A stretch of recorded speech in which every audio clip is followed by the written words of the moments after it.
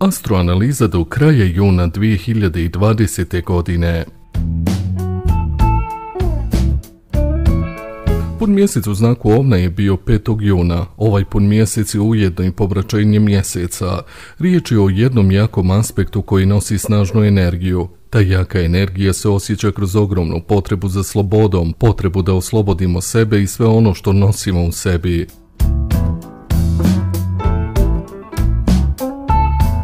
Ovim se završava faza jednog burnog unutarnjeg buđenja. To je faza kada stavljamo tačku na strasti i pretjerivanje te tražimo u sebi ono što nas oslobađa.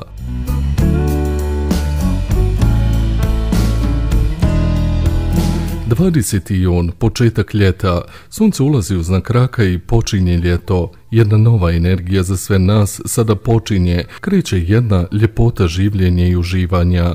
Otvaraju se sada naše najdublje emocije, jača potreba da volimo i da budemo voljeni. Otvara se sada četvrta čakra, naša tačka voljenja i predavanja u želju da ovaj rođendan rakovi proslave na najljepši mogući način, ovaj uticaj nam daje nadu da osjećamo i volimo.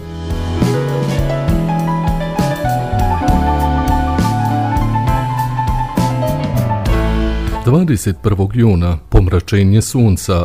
Mlad mjesec odvija se u znaku raka, a ujedno se događa i pomračenje sunca.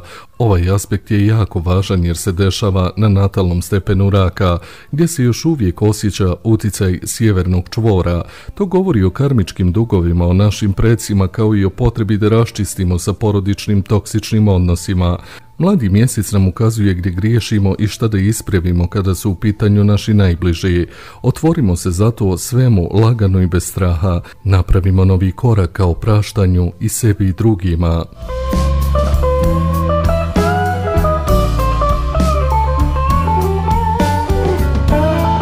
Dvadeset jun Mars u ovnu.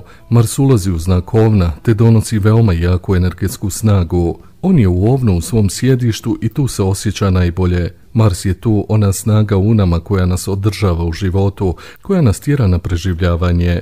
Budi nam pravi energetski centar, budi našu hrabrost. Mars će u znaku ovna boraviti do kraja godine i svakako će ostaviti jak utisak kako na globalnom tako i na ličnom nivou. Vrlo je važno kod sebe sada probuditi hrabrost, odlučnost i motiviranost, čime dobijamo jaku energiju.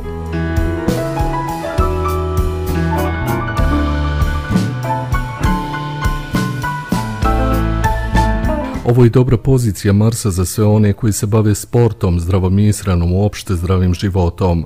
Sada je fenomenalno vrijeme da se pokrenete i da počnete da vodite računa o svom tijelu i uopšte o svom zdravlju.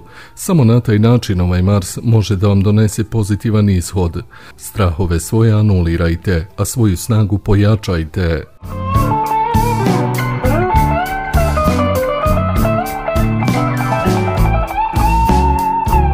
Astrolog Nena Janković, astroportal.in, astrosudbina.com, obreda treća dimenzija, pretplatite se na naš kanal. Hvala vam.